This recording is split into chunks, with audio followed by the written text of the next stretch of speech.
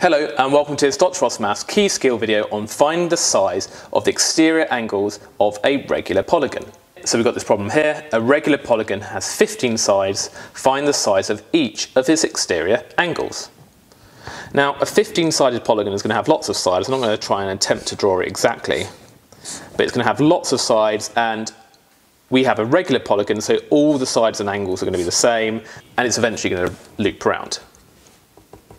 Now, what's meant by an exterior angle of a polygon? Well, it means that if we were to extend out one of the sides, so we take one side and we kind of continue the line so it extends outside of the polygon, then the exterior angle is this angle here.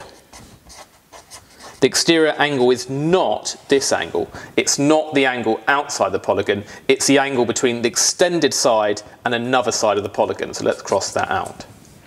Now in another video, we saw that the total exterior angle of a polygon, any polygon, whether regular or not, is 360 degrees. So the total exterior angle is equal to 360 degrees. Now, each of these exterior angles in a regular polygon are going to be exactly the same, aren't they?